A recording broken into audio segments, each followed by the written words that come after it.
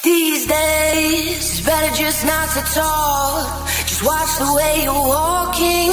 Everybody watches what we do, and it's strange. Never thought it would have been this way. Doesn't matter what I say, cause I know that.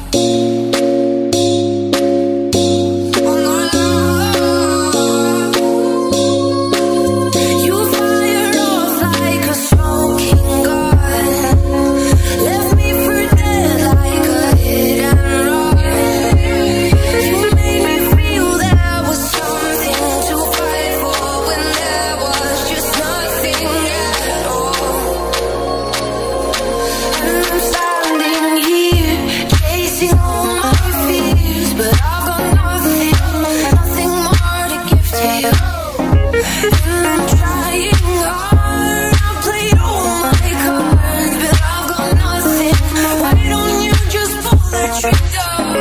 you.